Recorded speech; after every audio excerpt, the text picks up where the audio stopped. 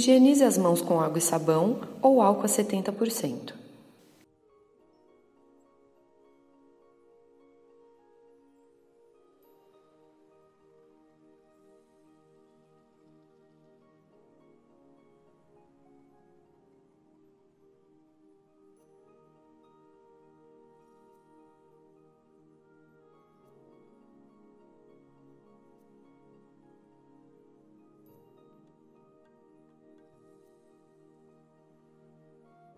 Após reunir o material, direcione-se ao quarto da paciente e se apresente.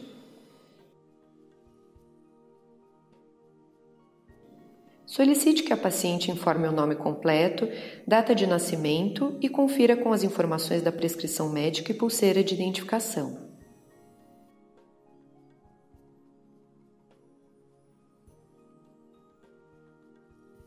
Oriente cuidadosamente a paciente sobre o procedimento que será realizado. Atenção para os materiais necessários.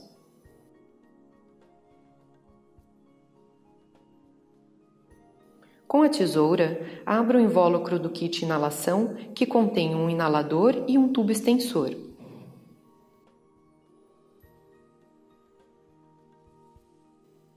Umedeça uma gaze não estéreo ou algodão com álcool a 70%.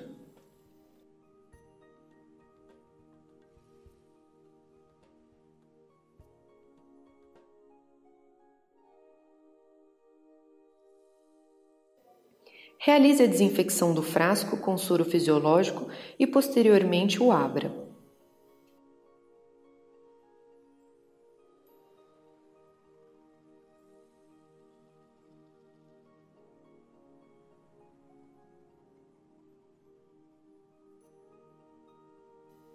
Abra o reservatório do inalador e acrescente o soro fisiológico.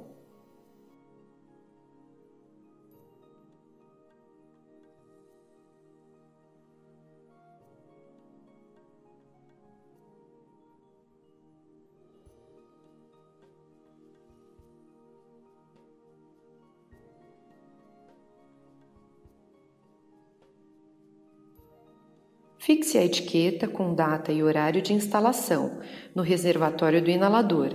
Esta informação é importante pois facilita a verificação do prazo para a troca do material. Fixe a etiqueta de identificação do paciente no tubo extensor do inalador.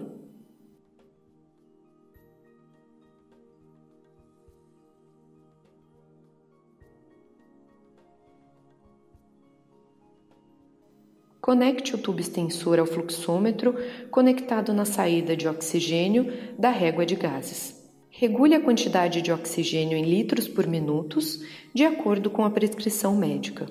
Certifique-se que não há vazamento de oxigênio na conexão do fluxômetro com o tubo extensor. Oriente a paciente sobre o posicionamento da máscara no rosto, que deve cobrir boca e nariz.